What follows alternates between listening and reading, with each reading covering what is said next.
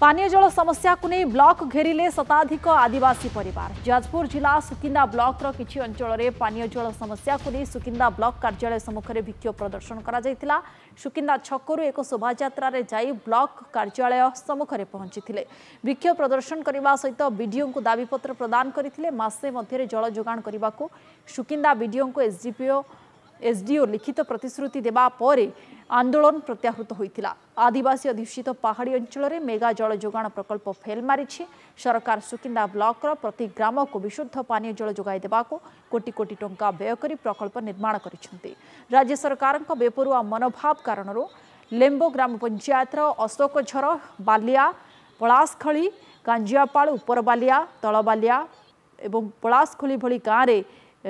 पानीय जल जाणपू लोक परित्यक्त कुन झरणार दूषित जल व्यवहार गर्दा बाध्य एथ्रति जल जो परिमल विभाग सुकिन्दा एसडिओ समेत ब्लक प्रशासन कसै कर्णपात गरुँदै जहाँ कुरा तीव्र असंतोष प्रकाश पाव सहित राज्य सरकारको समलोचना आगामी दिनमा पानीय समस्यार समाधान नहे आगामी दिन बडर आन्दोलन गरियो चेतावनी दिइ